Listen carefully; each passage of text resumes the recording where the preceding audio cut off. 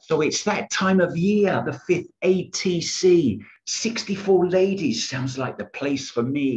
For years I've been looking for that hidden spot. They say cold, getting warmer, but they never say hot.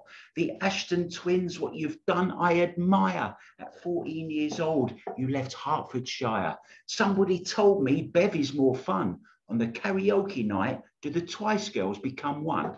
I reckon Joe likes to belt out a little bit of Britney, but I would always love you, Bev, if you do a bit of Whitney.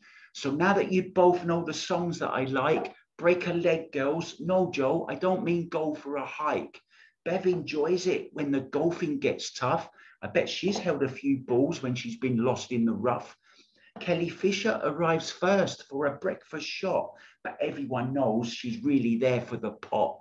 I don't mean the pot that makes you feel high. I mean the money. She got more than the Sultan of Brunei. Have a great tournament, girls. I had a dream about who wins. Well, it's more of a fantasy, me in bed with the twins. Yo, good luck, everybody, in the ATC. This is Two Peace Cue signing off. I'm Audi.